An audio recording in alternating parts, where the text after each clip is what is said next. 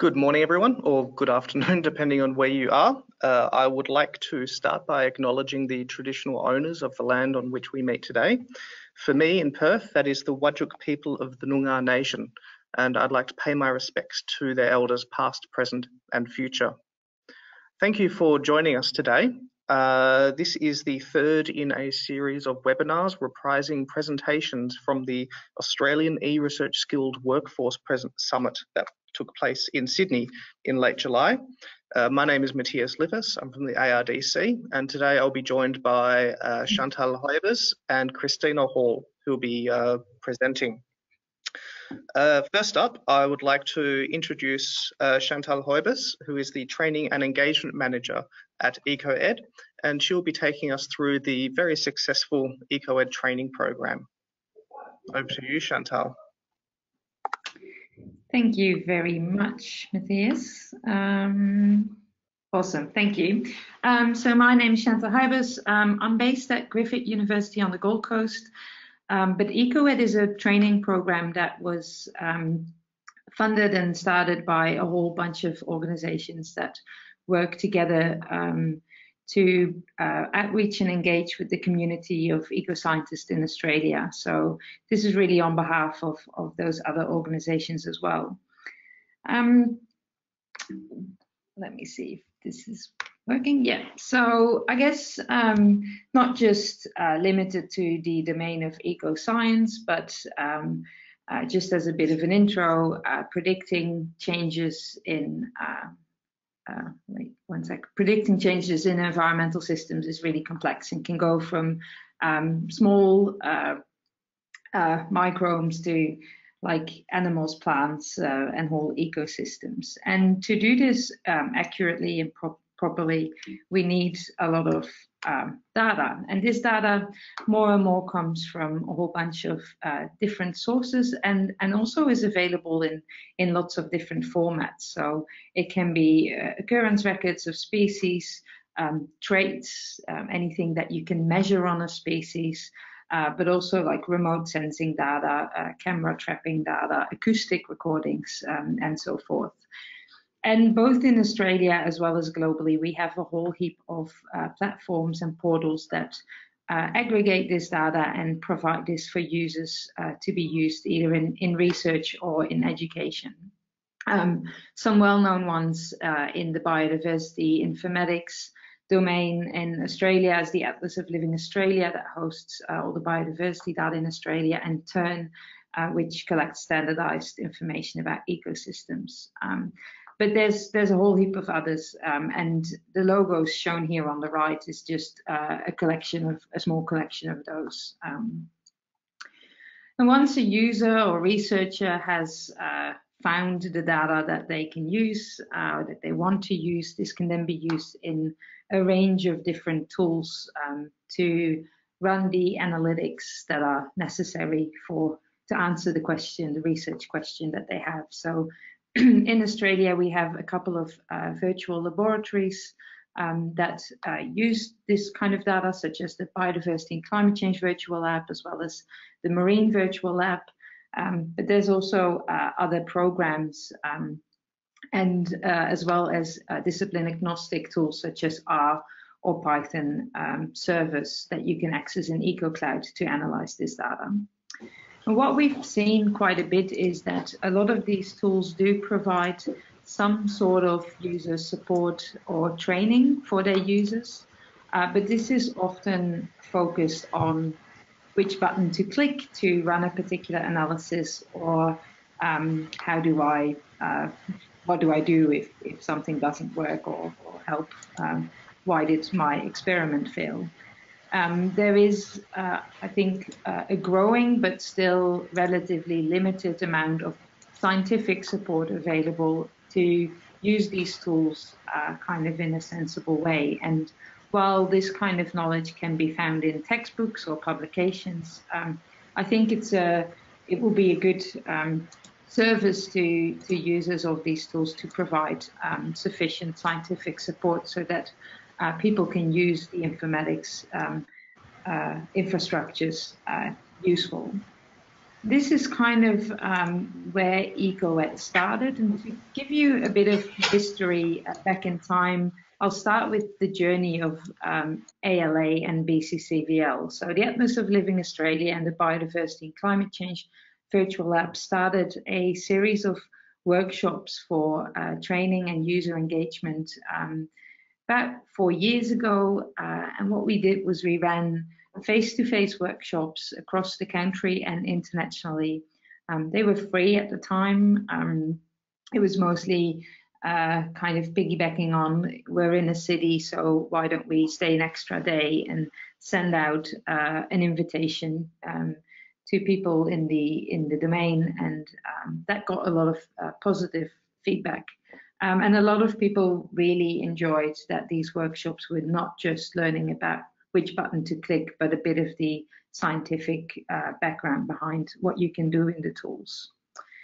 For the BCCVL, we kind of had a bit of a look at what that meant for how our users engaged with the tool. Um, so um, one of the things that we noticed was obviously uh, an, a, a, dramatic increase in the number of users that the virtual lab had. Um, so we started with our first workshops at the end of 2015 and then our first undergraduate course um, kind of in uh, the beginning of 2016. And obviously, if you run workshops, then it, it's it's uh, quite logic that you get an increase in number of people as well. So this graph wasn't really the most important for us. It's actually this second graph when we started to look at how they actually interact with the system. So this first bar uh, is what people kind of did in the system before we started any workshops. So in the BCCVL, you can run uh, experiments, and uh, most of them are species distribution model experiments. And what we noted was that 75% uh, of our users uh, found the BCCVL were able to log in, but would never run an experiment, which is kind of uh, uh, means that they don't really either know how to use it or, or, don't come to it to use it. And for us, that kind of meant that we needed to guide them a bit better to how to use the tool and, and what it's useful for. Um, so about a year later, we have been running some workshops and started to do some undergraduate courses.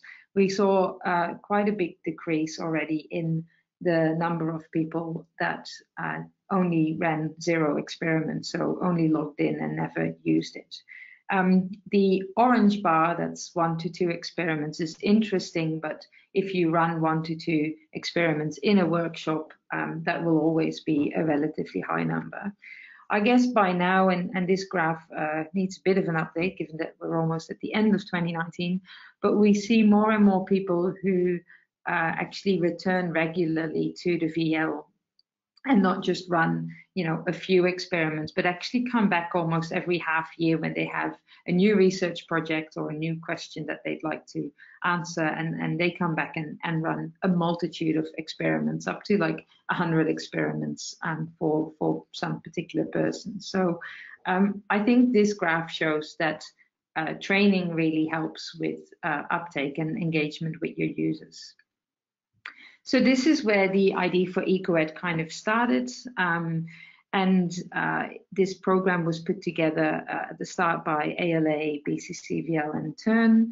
Um, and some of the aims of the program were really to uh, not just provide a, a, an ad hoc workshop for whoever wants to show up, but really start to integrate this more and more in undergraduate courses. Because what we heard a lot from the academics attending our workshops was that um, these tools are very good to actually translate some of the scientific concepts to the students by giving them like a hands-on tool in which they could immediately apply the knowledge that they learn in a lecture um, in an actual tool that is used um, by researchers as well as by government practitioners in the real world. So uh, we really wanted to educate and upskill the next generation of, of scientists and managers and develop a network of, of people. So a lot of the academics that know these tools or use it for their own research um, do provide a very good um, network of, of kind of our promoters um,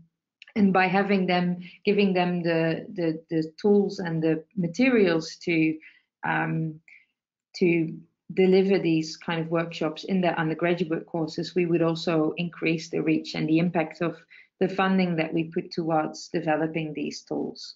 Um, it's not just build it and they will come. Um, we, I guess, we really believe in in once you've built an infrastructure, you need to engage and train your community um, to make sure that they can use it sensibly. So EcoEd at the moment um, has uh, a couple of modules. Um, so what we've uh, tried to do is put together modules that around a particular topic within, I guess, the data lifecycle. Um, and each module includes um, or can include a lecture around a particular scientific topic and then has a uh, practical uh, tutorial uh, with a handout for students to actually run uh, an exercise in a particular tool.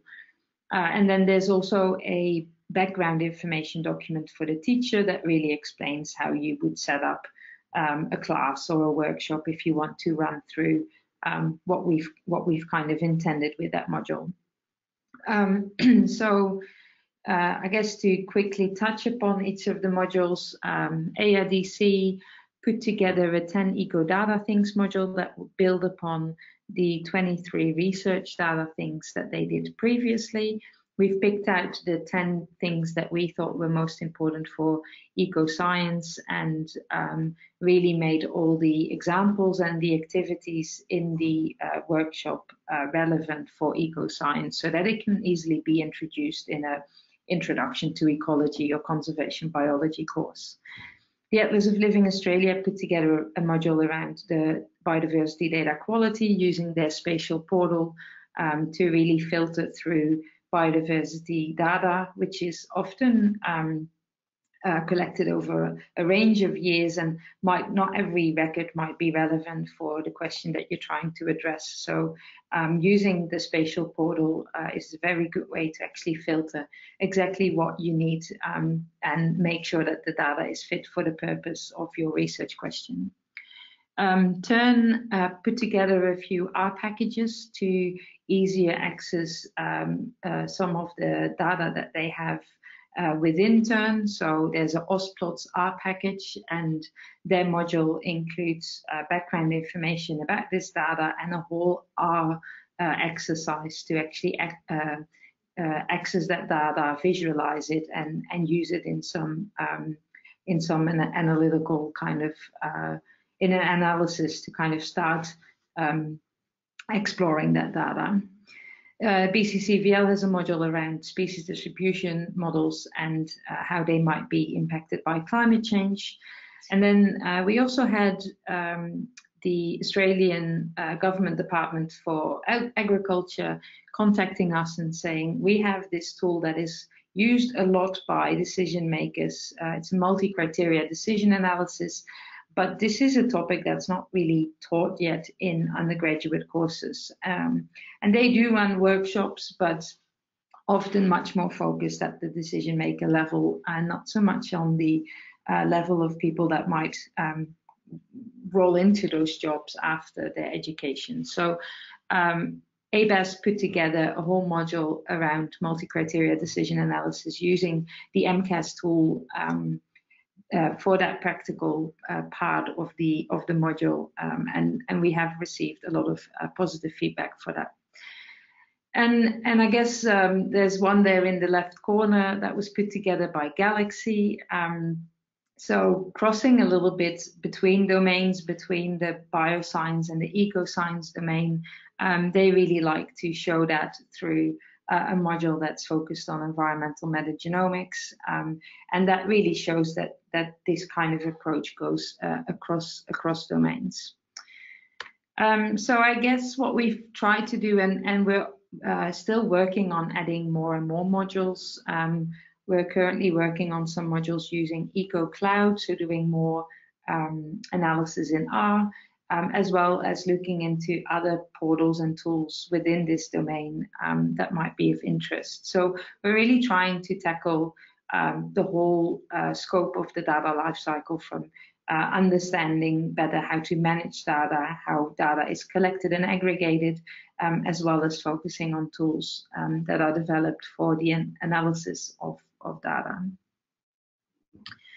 Um, as part of the EcoEd program, we also started to um, train uh, what we call our EcoEd champions. So um, instead of just having a handful of people that work for these tools going around the country and running these workshops, um, we wanted to scale up this program and make sure that we could deliver training at a at a much uh, higher, like more uh, at a higher level, in, more people at the same time.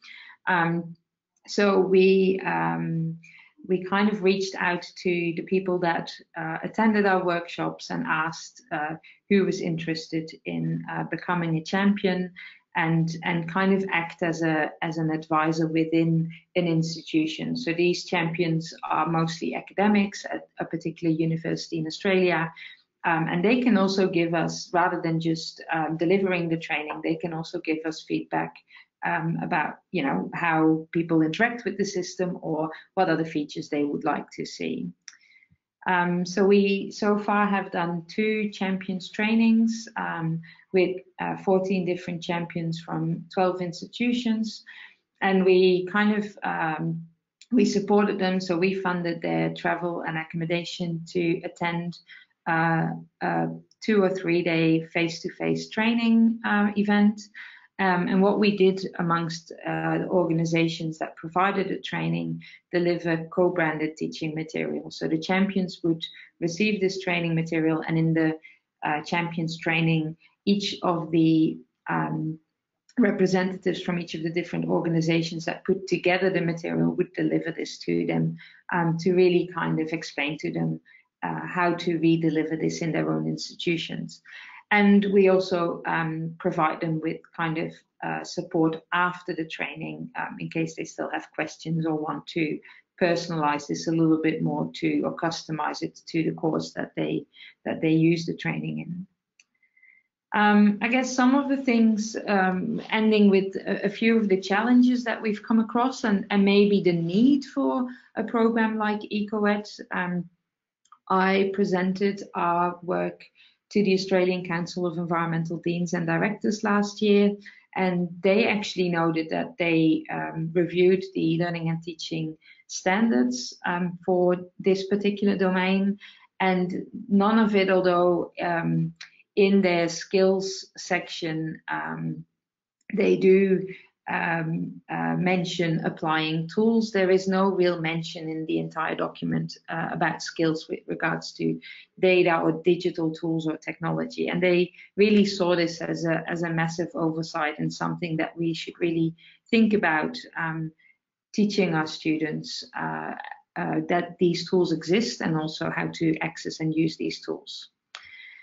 Um, and I guess without that, um, we still do pretty fine because at the moment uh, we have over 15 universities across Australia and also some international universities that are um, using uh, these teaching materials. I was actually asked last month by uh, a university in Peru if uh, they're all right with them translating all the materials to Spanish um, which we could then also again um, provide on the EcoEd website. So um, the outreach will be will be even um, quite substantial through that. Um, so I guess some of the challenges, what we try to address in these modules is a very wide range of topics that include very discipline specific topics, ecological models and climate change projections, uh, might be quite um, specific to the ecology field, but at the same time, we do address things like uh, spatial data, uh, how do you work with um, uh, biological and environmental data, how do you manage your data, make it that, map that data management plans. So we kind of uh, cover a lot of topics that address both discipline specific and discipline agnostic topics. Um, and at the same time, we are um, both uh, teaching people that have never heard about these uh, concepts or have never used any of these tools um, to people that are quite um, expert at using that. So some people are uh, an expert in using R uh, in their own R Studio on their computer, but have never used it through Cloud Compute or are very um, uh, skilled in using spatial data through either ArcGIS or QGIS, but have never used it in in a tool um, like BCCVL. So so we're kind of covering um, both the novice to expert as, a, as well as a different depth of um, topics. Where we would like to go is um, to really focus with EcoEd on the more discipline specific topics. That's what we already do, but work more and more together, like what we did with ARDC and the 10 EcoData things, um, to generate some materials that are based on discipline agnostic topics, um, but then kind of tailor that for um, maybe the more domain specific um, uh, topic or for more with more domain specific examples. Um, so we're really thinking about um, talk, talking more to the discipline agnostic uh, organizations like the carpentries and, and other organizations that provide this kind of training. Intersect does a lot of training on Jupyter notebooks, which we have in Eco Cloud. Um, so how can we really um, work better together and not keep reinventing the wheel on, on some of these things? Um, I guess just to end with what we've seen in, in developing a program like this, some of the challenges that we've had is um, besides the coordination that we would like to increase with the other providers, um, funding is always a bit of a, a question mark. Uh, do we fund this as part of platforms, which would uh, really make sense because you can't develop a platform without providing support for it. At the same time, um, the, it might be a program on its own. Um, we would like to make our materials more fair, so have uh, almost standardized metadata around what's this module about and what could you use it for, um, rather than just having ad hoc files. Um, having them more online rather than in downloadable files would be also very good. Uh, how do we measure impact? Um, that was a question that I got asked by one of the collaborating organizations. They need to report on how often is it used. And um, even though I have quite a bit of contact with the academics that are using our materials, um, I also do know that there might be universities using it without us even knowing and how can we uh, provide more recognition for people that have either um, participated in a particular workshop or in the uh, champions training um, so that maybe they can use this as part of their as part of their degree. So these are things that we would like to work um, with other training um, initiatives in Australia on and um, something that is kind of on our agenda to look at for the next um, next years, I guess. Um, so yeah, that was kind of what I wanted to share about our program um, and happy to, uh, I don't know if we take questions now or at the end, um, but happy to discuss if you're, if you're interested in either using the material or becoming a partner organization. Thanks. Thank you very much for that, Chantal. Uh, we do not have any questions for you at this time, Chantal, so we might uh, move on to Christina. So uh, Christina Hall is the, uh, well, as it says on the title screen there, Training and Communications Manager at Australian Biocommons. Um, take it away, Christina. Thanks very much. So today I'd like to introduce to you a scalable model for delivering dispersed bioinformatics training that we've been working with and we call it hybrid training. So within uh, five years, we estimate there'll be more than 30,000 Australian researchers across agricultural, environmental and health sciences that will either be bioinformaticians themselves, they'll be researchers who use a lot of bioinformatics driven techniques, or they'll be researchers who are wet lab focused but will rely on um, online resources to interpret their research. They'll increasingly be interacting with both local and global resources. Um, they'll have diverse data needs and they will certainly bring a variety of skills. Um, and I'm going to place this training technique that we've developed within this context of um, responding to those needs. So the EMBL Australia Bioinformatics resource was a distributed research infrastructure network providing bioinformatics support to life science researchers throughout Australia. And it was set up as a collaboration with EMBL EBI to maximise Australia's bioinformatics capability. It was hosted at Melbourne Bioinformatics through a funding agreement uh, between the University of Melbourne and Bioplatforms Australia. Now, one of the successes of the EMBL ABR was that there was a group of 13 nodes around Australia who came together to participate in um, shared training activities.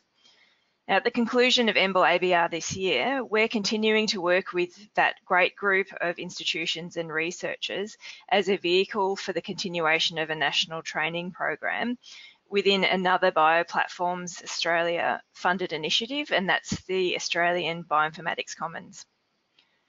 So the Australian Biocommons project is asking the big questions around uh, what infrastructure and activity is needed to support Australian biologists to do world-class science. And in terms of Biocommons training, we've really hit the ground running uh, by leveraging what was built as part of the EMBL ABR, and I'll describe that training methodology that we've refined over a couple of years now. So we um, there was a range of activities, uh, things like providing a central point to find out about bioinformatics training, and we also had a webinar series in collaboration with the ARDC. But what I'm going to talk about is our live hands-on training workshops that took place uh, both last year and this year. So the hybrid training method combines the advantages of webinars with the advantages of in-person group training. So we needed this method to uh, efficiently share training resources uh, across our network. It was actually inspired originally by a failed roadshow that we'd organised for a fantastic trainer from the US uh, to come to Australia and unfortunately uh, she applied for the wrong visa to travel here and we found out a little bit too late to do anything about it. So to salvage some training opportunities for our nodes, we cobbled together the beginnings of our hybrid training method. So when I talk about that, what I'm meaning is that we have a lead trainer that delivers hands-on workshops via video conferencing. And at the other ends, we have participants gathering in training rooms that are always supported by facilitators locally. So what they do together is then work through um, tested content that's been specifically created for that forum and uh, with um, pre-prepared data and tools and compute to support the activities. So far, we've worked across a few various uh, different platforms. We're experimenting quite a lot still at the moment. We've had a lot of people, five different trainers, work with us to develop new materials. We've had a whole raft of volunteer facilitators, and they've represented lots of venues around Australia. I've got a list here of institutes and organisations who have put their hand up to participate in sometimes all of our training activities, uh, other times uh, just topics of particular interest. So the hybrid training has three roles within it. The um, lead trainer is the person who's responsible for the content creation. So we approach experts in their field uh, with a, a, topic that they would like to uh, develop up some new training in. Once um, we work with them to develop training that will fit the hybrid methodology and we run through and test that content with them. We also can um, help them to ensure that the compute and the data and the analysis platform will work on the day um, for their proposed activities. Now, these events always rely on local facilitators. There are in-room helpers. We uh, make sure that they're all adequately trained. They spend time with the lead trainer um, ahead of the public event and sometimes they actually assist the lead trainer in developing the content. Um, they're also our uh, person who deals with logistics at their various venues. So they do room bookings, they do local um, advertising, and they're responsible for the success on the day. They welcome people to the room, uh, they make sure people are keeping up, they encourage them to interact um, via the Zoom chat window and um, also a discussion board, which I'll talk about later, and they set up the live feeds we have into their rooms. Now the coordination is uh, a, a, role for the Australian Biocommons. We make sure that um, all the planning ahead of time and the resourcing is adequate for the day, the, the event to be a success. We reach out to new facilitators and we make sure they're trained and confident in taking part on the day. And we also assist with advertising materials. We advertise nationally. Uh, we um, set up and take the registrations and communicate with participants ahead of time, making sure everything's a hit on the day. And after the event, um, we uh, undertake the evaluation surveys and report back to each of the venues uh, what happened and how it was received at their venue. So this is what the events actually look like. It's a mix of um, talking and uh, providing time for, for participants to actually do things themselves on their own laptops as they'll have to be able to do when they leave the workshop. So we stagger each workshop with catch-up points and we also monitor each of the rooms to make sure that everyone's on board and everyone's keeping up. And if they're not, we actually pause and wait for everyone to continue on together. So the lead trainer, uh, here we have a lead trainer from last year, Anna Syme. She's in a room by herself. Uh, the lead trainer is never in front of a, a, a, live audience, but that person is concentrating on delivering the best they can for everyone watching without any distraction. Our last two events have had over 150 uh, registrants uh, logging on at the same time, so it's important that the lead trainer has every one of those uh, people's needs in mind rather than just the immediate needs of someone in front of them.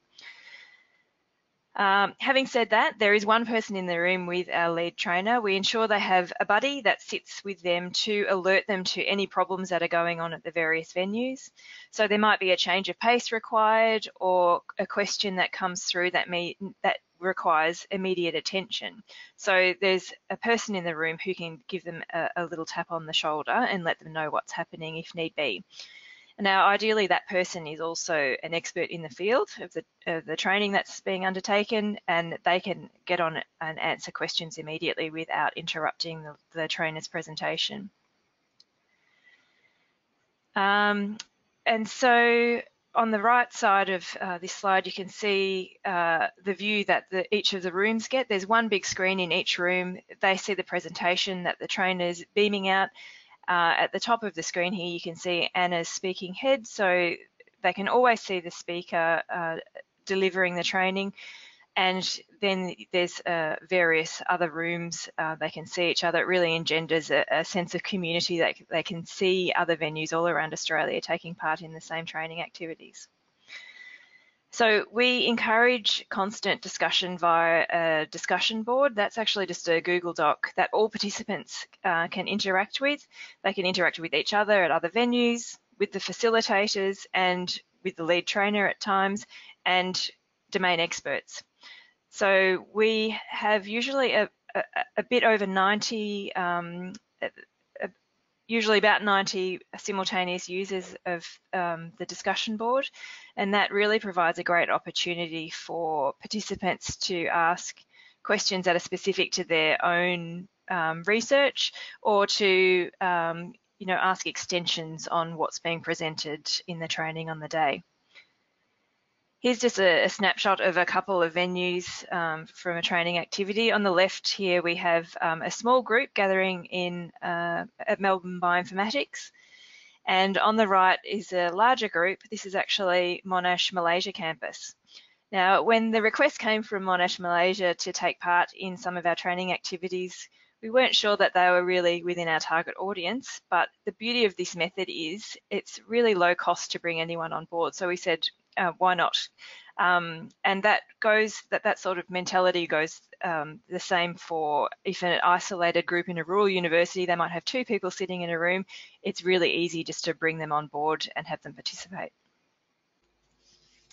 so the things that we really love about the hybrid method is uh, the discussion board. We think that's a real success and we can get some really fantastic um, discussions going there and that continues on after the workshop itself is finished and um, uh, it lives on forever so if people want to consult um, the discussion board again they can go back and see the answers um, that they got um, forevermore.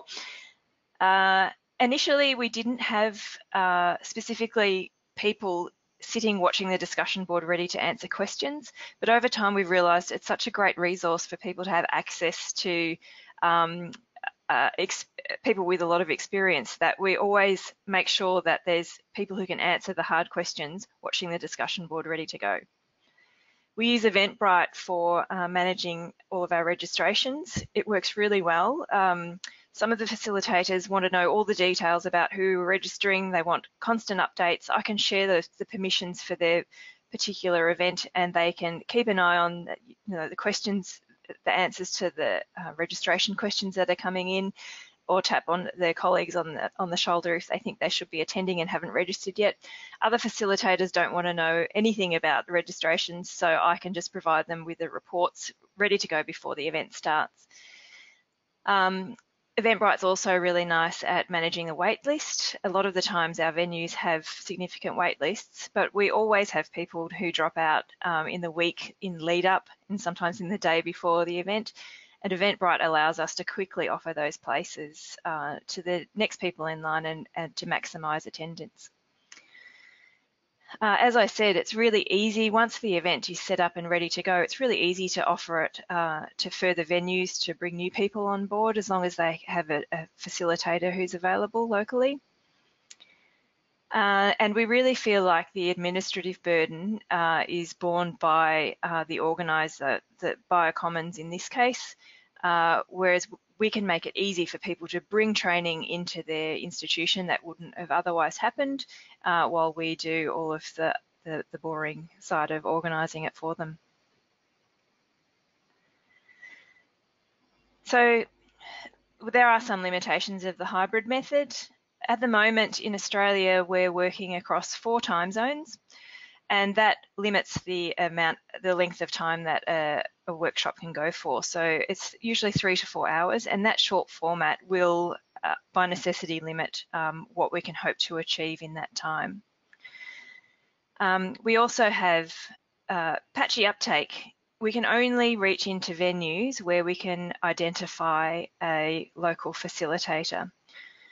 Um, and sometimes uh, we'll have a facilitator trained up for one topic and the next time uh, there won't be a taker there at the same venue. So we'll have to train uh, new facilitators and that new sourcing of facilitators, their training and the loss of knowledge how the events have run in the past and the expectations we can have of each other, um, it can be very time consuming.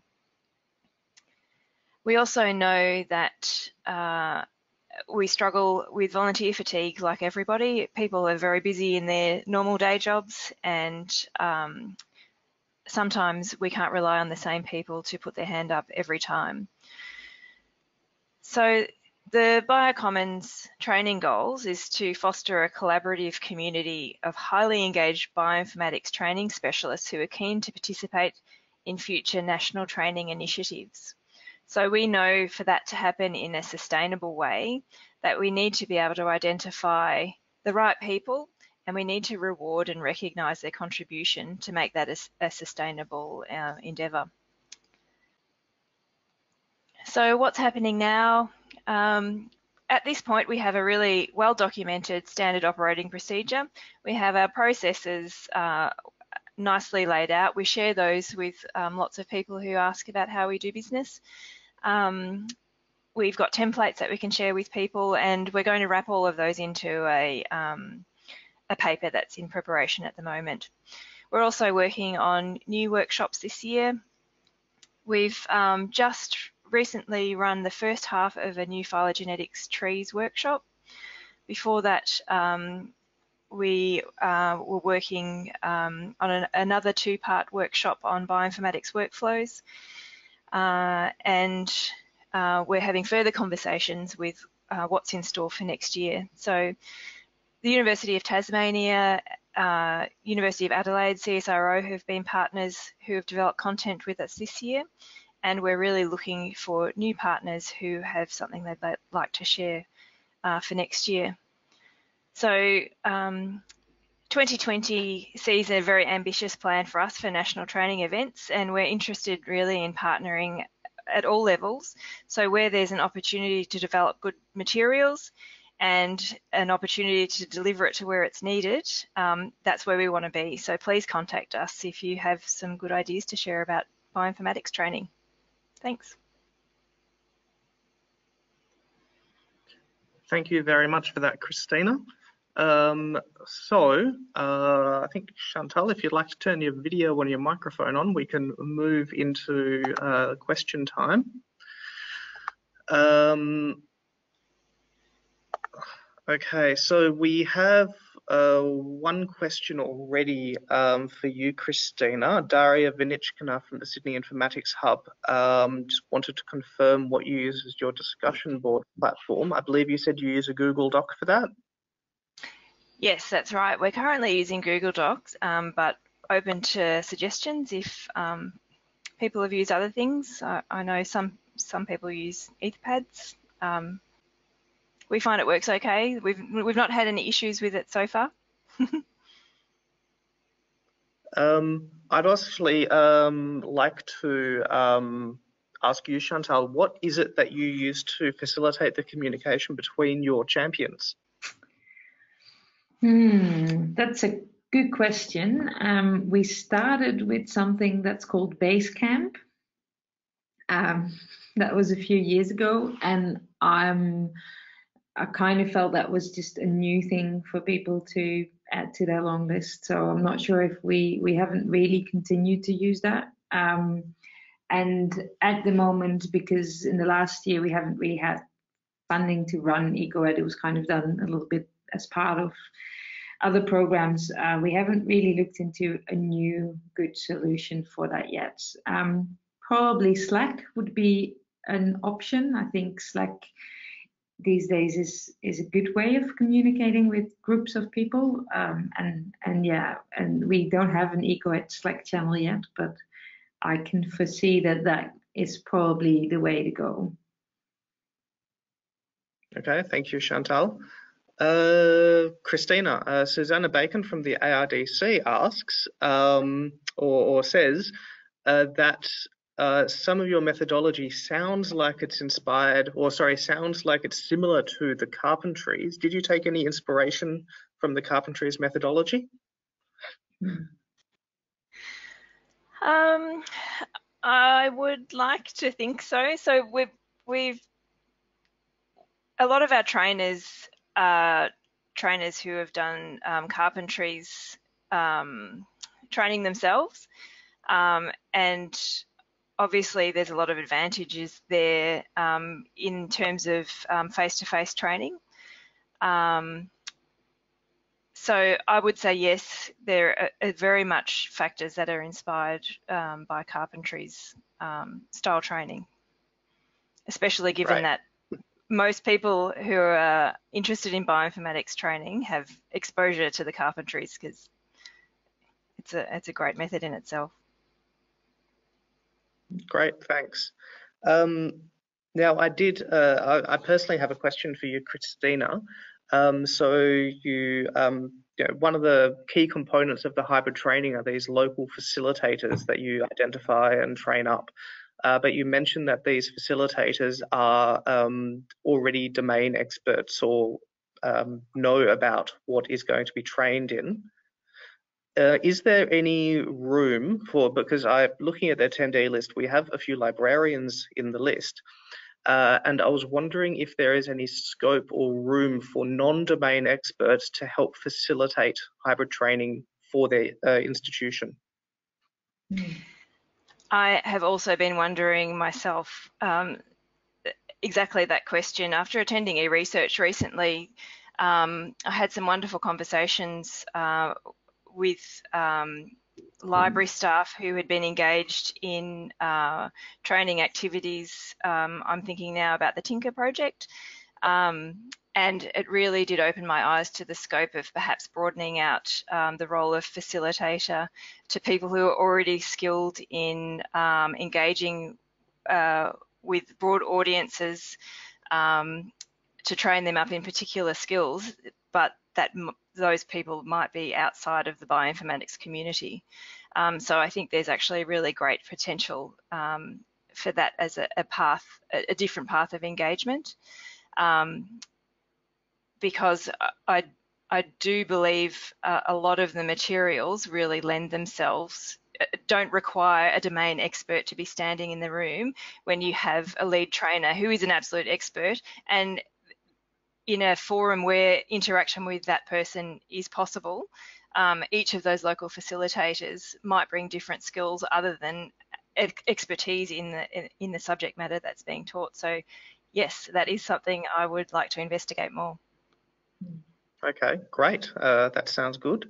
Uh, now we have a couple of comments from Darya Vanichkina. Uh, so one is um, going back to how uh, trainers or champions can stay in touch with each other. Uh, Darya mentions that there is already a Slack that is shared between research trainers uh, in Australia. Um, so she suggests, Chantal, you might like to just hijack that for your own purposes. Um, invite people to join that. The enriched one, yeah, we could have a channel on that, for example. Uh, and sorry, Chantal, go on. I said that must she must be um, pointing to the enrich one. Yes, that that's my assumption yeah. as well. Uh, and yeah. for anybody who's tuned into this uh, webinar, I can share the link for that uh, community of practice when I send out the recording, uh, probably next week. Um, oh yes, Darya confirms it's the enrich one. Uh, another comment from Darya. Um, so she um, shares that um, they've had non-bioinformaticians help out with a SnakeMake and some of the workflow tools at Sydney Informatics Hub, uh, although apparently this was accidentally and not by design. Um, yeah, I, I, think specifically there were HPC staff involved in that one. I think that's what we're talking. Yes, that's correct. Uh, mm-hmm. Darya just confirmed that. Um, now I had another question. Oh, wait, yes, I remember now. Now, Christina, uh, and this goes for you as well, Chantal. Um, so, but Christina, you especially mentioned that you already have procedures and templates and workflows in place that you're happily sharing uh, with others. But I was wondering if you'd be interested in making those things a bit more fair mm. uh, and and uh, making them entirely public so that other people can um, uh, possibly contribute or, or, reuse them without necessarily having to get in touch with you. And Chantal, the same goes for you. You've got your champion program. Uh, and I'm sure others would be very interested in um, your processes and, and, workflows in how you manage that. Any sorry, so, any responses so, to that suggestion?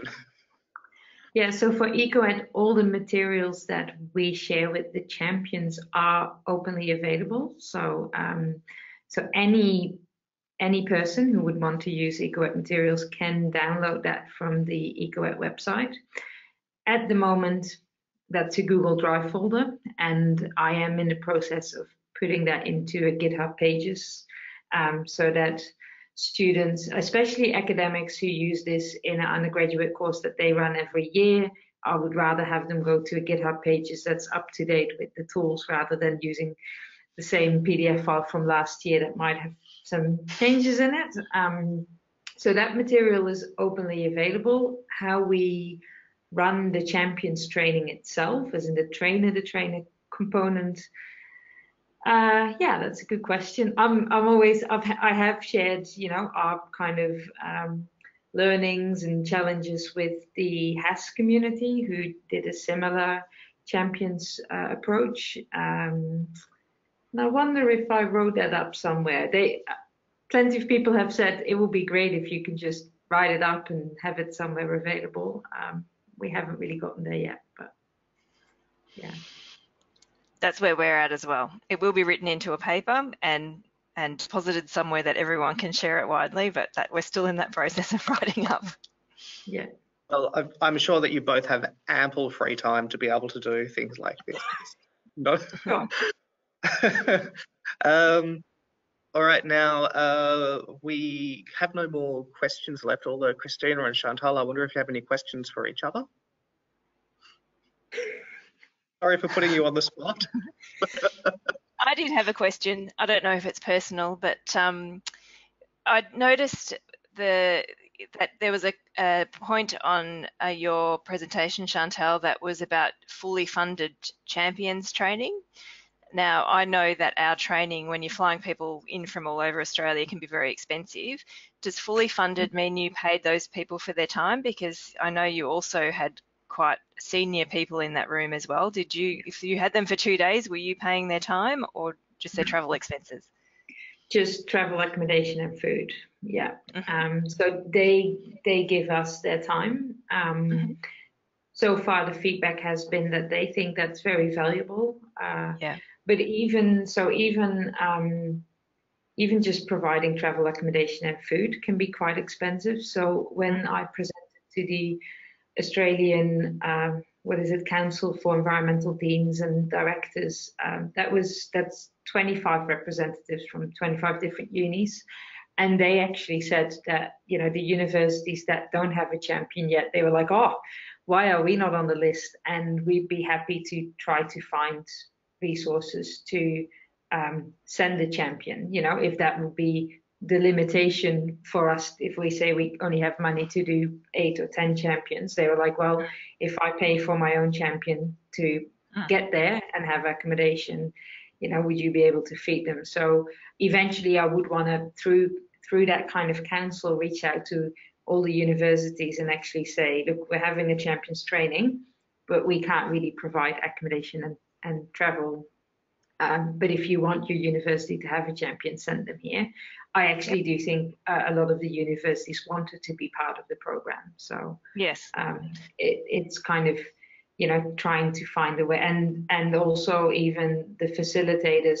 Um, so our time was kind of funded by our own organizations. So you know mm. we just get and rock up. It's, for some people it's part of their job, but for a lot of others it's also um, kind of you know just giving their time. So yes, yeah. it's an in-kind contribution to supporting the program, and they they Absolutely. feel that the contributions yeah. worth the exchange is valuable enough to make that contribution. Yeah. Yeah. yeah. Mm, thanks. okay. Uh, now, we would love uh, to do a hybrid model for EcoEd. So yeah, that's something we would definitely be, especially now we have champions at 12 different institutions. We can actually run a hybrid training where, you know, if I would be the trainer, I could be online and we could still have those those rooms set up across the country. So yeah. Mm. Yeah. Yes. Once you have a, a, stable community of trainers, they're ready to go with the training. It, that's a, a a big step forward. Yep. Talk to me anytime you like. yeah. Uh, also been dabbling in hybrid training myself, although admittedly it was to one remote site. So I was in Perth and the room in Adelaide had a local facilitator.